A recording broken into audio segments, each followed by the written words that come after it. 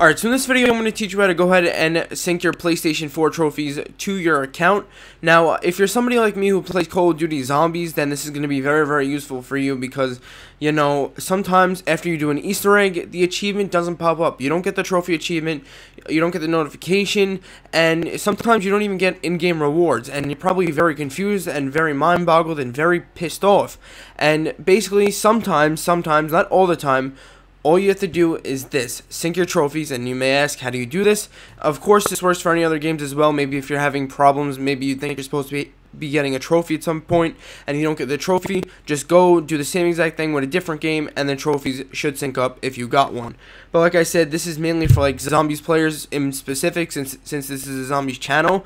It's more zombies focused. So for example if you've done an easter egg and you haven't gotten your trophy this video is going to show you how to go ahead and sync your trophies to try and recover that trophy just in case there is a chance that it actually did sync, it just didn't pop up for you, or it did register, it just didn't sync to PSN and pop up for you. So basically, say I did a, say I did an Infinite Warfare Zombies uh, Easter egg, right? So in order to get that trophy back, if I didn't get a notification or any recognition of it, I just go to my trophies right up here on the PlayStation and then go down to Call of Duty Infinite Warfare. But as you can see, you saw right in the top there. As soon as I clicked on trophies, it said syncing trophies to PSN. It was very, very quick. It was like a half a second, but it said syncing trophies to PSN, so it automatically did it. But just in case it doesn't automatically sync, like the second you click on trophies, click on the game, and then it should start syncing instantly. And no, you can't click on options and then sync. But as soon as you click on the game, if there's any trophies to sync, it should begin to sync. If not, go even further into the DLC pack. So for example, if it was Zombies in Spaceland, I just click on the default Infinite Warfare, and then the trophies would sync. If it was, for example, a, a DLC 3 Easter egg, I'd click on the DLC 3 Absolution trophy list, and then there you go, it would pop up with all the trophies, and it should say syncing trophies.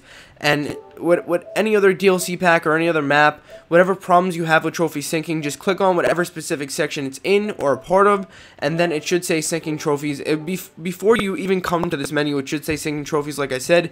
As soon as I click on trophies from the main PSN screen, from the home screen, it automatically said syncing trophies, and it's it sunk all the trophies I had for every single game.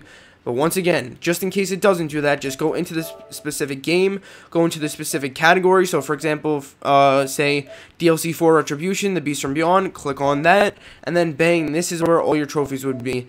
Uh, and if they all, if, if you have any trophies that were missing, it'll say syncing, and then you'll see them pop up and the date you earned them with a screenshot, of course, as well, because that's just the way PlayStation does it. If this video helped you out in any way, shape, or form, make sure you drop it a thumbs up. Make sure you subscribed, and of course, get ready for Call of Duty World War II DLC 1 because zombies, it's gonna be friggin' great. All right, I'll see you later.